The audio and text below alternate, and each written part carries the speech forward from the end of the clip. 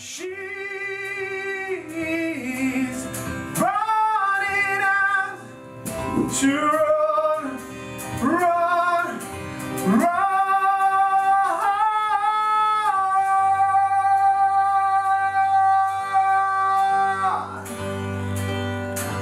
My name is Omar Alaywan. Uh, I'm a guitarist and singer. I started my uh, musical journey at the age of six. I started playing classical piano when I was uh, a kid. My parents always saw me like dancing to songs and like trying to sing and hum these songs since I was a little baby. And by the age of five or six, they thought maybe they should introduce me to uh, a piano teacher or something because it was a trend back at the time. Like for kids who are into music, they start with piano. And then, um, influenced by my father's taste in music, uh, my father's into rock, I switched to playing the guitar at the age of 15. And I played with a few bands around the block.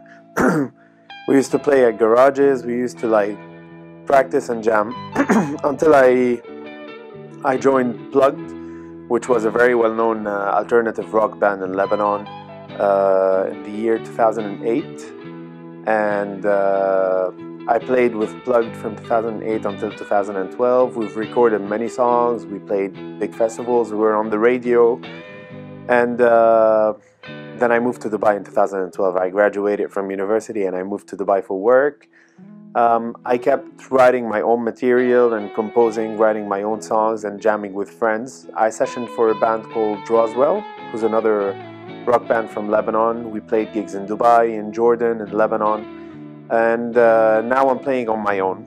I'm writing my own music, composing my own music under OM, and uh, on the side, like my main job is a brand manager. I'm working as a brand manager in the FMCG industry and uh, that's mainly it.